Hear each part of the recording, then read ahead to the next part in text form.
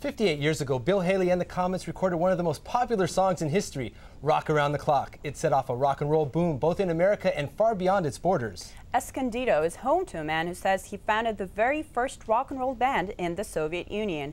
I brushed up on my Russian skills and met with him to learn more.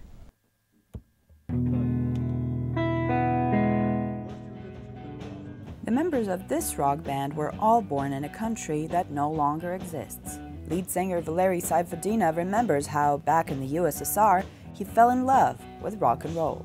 There was a song called Rock Around the Clock, and my next door neighbor, I don't know, somehow got it and he blessed it.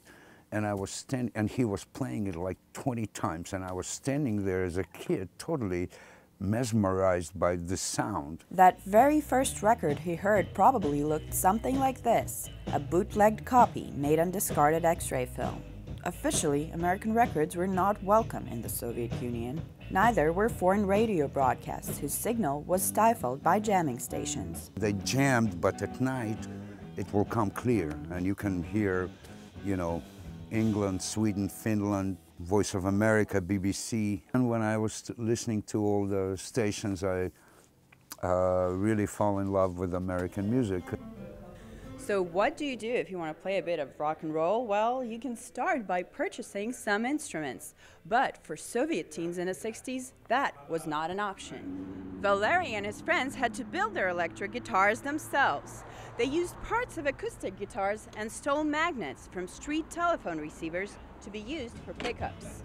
With do-it-yourself guitars and a bass made with borrowed piano strings, the group must have been one heck of an act, but fancy or not, the Avengers were the first rock and roll band in the Soviet Union.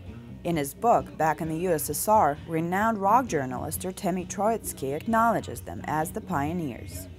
Many others followed, and soon, rock and roll was becoming a social movement, which authorities found was challenging their power. They thought it's underground organization.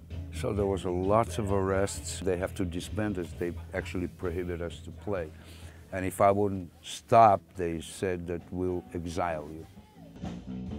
Since moving to America 30 odd years ago, Valery has been rocking away and is grateful that every day he can do what he loves.